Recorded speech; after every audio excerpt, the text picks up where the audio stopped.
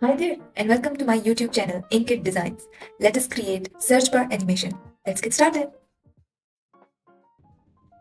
First, let's place search icon and write text with 30% opacity.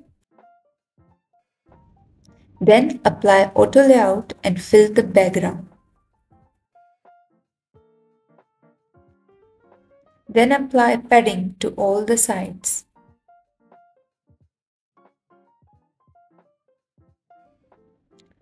Add drop shadow effect and adjust the corners. Set horizontal resizing to fixed width and enable the clip content.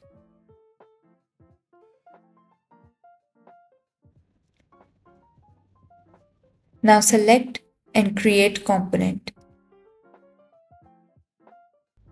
Rename the component as search bar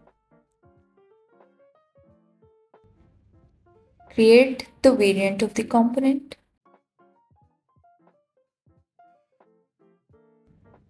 Name the first variant as a default and name the second variant as an active state.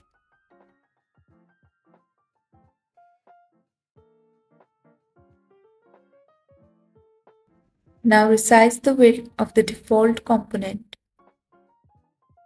Now let's prototype it.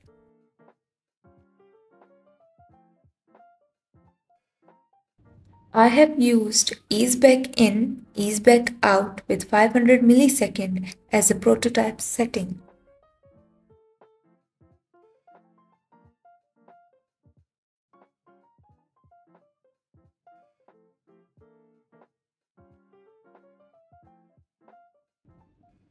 Place the component from the assets layer and constrain it to the right as shown in the video.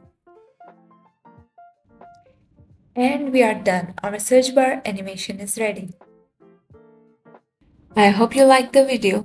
I will come up with more exciting videos. Stay connected.